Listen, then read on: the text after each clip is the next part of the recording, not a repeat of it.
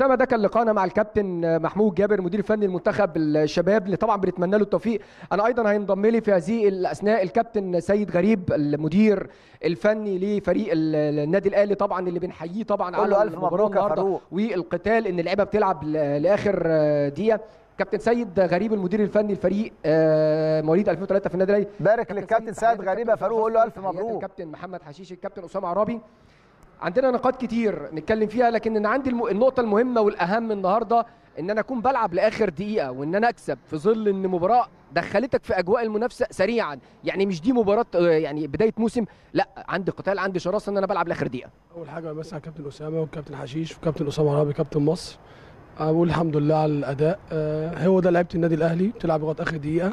الحمد لله يعني الهدف خدناه إن إحنا الثلاثه بونت جبناهم. هبقى واضح. آه، الاداء ما كانش كويس. كان عندي مشاكل.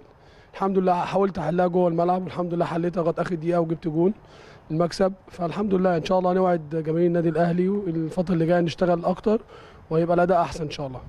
كويس قوي يا كابتن سيد ان اتكلمت أنت مش راضي عن الأداء لكن في حاجات نقاط مهمة جدا. كويس إن أنا لو ادائي مش كويس ما بخسرش ودي سمات الفريق الكبير.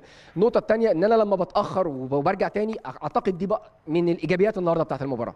أول حاجة الولاد أنا بشكرهم يعني شغل كبير قوي. الولاد عم قدوا لغاية آخر دقيقة عملوا مجهود كويس. آه، طبعا في رهبة أول ماتش ليهم. آه، في ثلاثة أربعة أول مرة يلعبوا. آه، جهاز المنتخب موجود جهاز الدرجة الأولى موجود. فكان عامل ضغط عليهم شوية. حتى أنا هديتهم بين الشوطين. أنا عارف إن لعيبتي عندها أحسن من كده 100 مرة. عملنا شغل كويس الفترة اللي فاتت. النهاردة عملنا شغل كويس جوه الملعب. غامرنا بمغامرات الحمد لله ناجحة. وجهة نظري الحمد لله لغاية آخر دقيقة كسبنا. آه، لعبت براسين حربة لعبت بوينجين آه، لعبت بواحد defender بس وكملت واحد من تحت راسات الحربة هاجمت بخمس لعيبة لغاية آخر دقيقة الحمد لله آه، كسبت الماتش. عندك غيابات النهارده مجموعة من الغيابات لظروف الإصابة لظروف الإيقاف. هتتعامل مع الأمر ده إزاي؟ خاصة أنت خلاص عندنا المباراه القادمة أمام فريق غزل المحلة وأنا عارف أنت بتاخد كل مباراة بمرحلتها وكل مرحلة بوقتها. إحنا هنقول مبروك النهارده. هنقول للعيبة نهديهم النهارده ويفرحوا النهارده. إن شاء الله بكرة هنشتغل عندنا ماتش ودي. الأسبوع اللي جاي هنقعد نعمل تحليل الأداء تحليل الأخطاء اللي عندنا. إن شاء الله هنحسنها. اللعيبة اللعيبة عندي ثلاث غيابات ثلاث غيابات مؤثرين جدا. أسامة وميدو أسامة. عندي آه، كريم فك... آه، كريم عثمان. عندي محمود حمدي لعيب كويس وأحمد داوود كمان. يعني عندي أربع لعيبة أساسيين. مش هقول ده السبب لا أنا بشكر اللعيبة كلها اللي أدت. إن شاء الله الاداء هيبقى أحسن.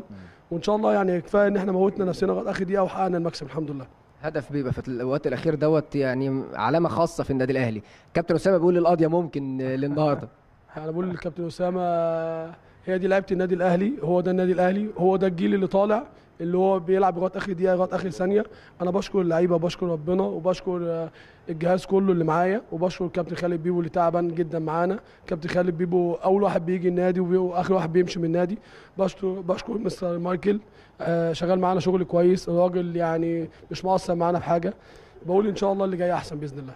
أشكرك يا كابتن سيد وبالتوفيق في المباراة القادمة. وإن شاء الله تتوجوا بالبطولة بإذن الله. إن شاء الله بنوعد جماهير النادي الأهلي والمسؤولين في النادي الأهلي البطولة بإذن الله. حبيبي شكرا.